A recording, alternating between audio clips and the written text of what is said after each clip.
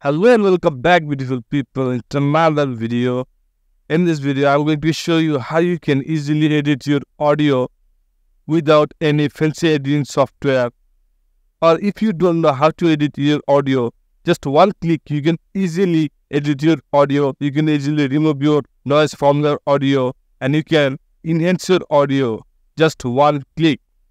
So you can see there are two files, original file and edit file. These are two audio file. So first of all, I'm going to play this original version. Hello everyone. In this video, I'm going to show you how you can simply create.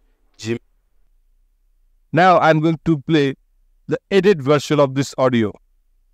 Hello everyone. In this video, I'm going to show you how you can simply create.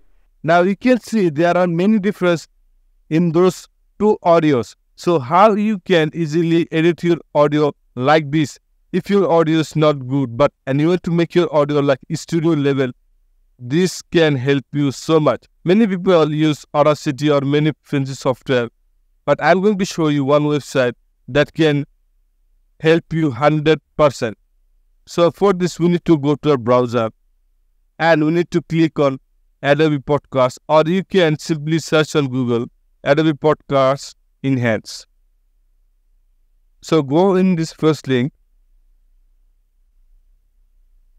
You don't need to log in in this website, but you need to click on enhance speech.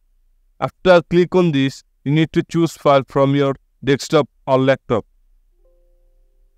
So I'm going this one, original.web. I just click on open. It may take some time for edit your audio.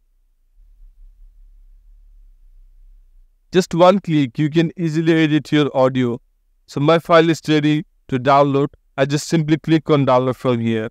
So guys, I hope you enjoyed this video. If you enjoyed this video, please like, share and subscribe this channel for more interesting videos.